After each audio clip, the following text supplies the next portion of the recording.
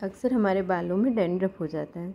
मैं आज आपको डेंड्रफ को वन वॉश में अच्छे से कैसे रिमूव करते हैं, वह तरीका बता रही हूँ।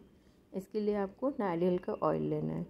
छः से सात टेबल स्पून नारियल का तेल ले लीजिए। उसके अंदर आप टी थ्री ऑयल की बीस बूंद मिला लीजिए।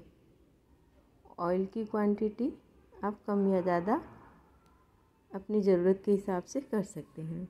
दोनों ऑयल को अच्छे से मिक्स कर लीजिए। फिर एक कॉटन की मदद से अपने स्केल पर अच्छे से रब कर दीजिए और बाल को दो घंटे के लिए ऐसा ही छोड़ दीजिए।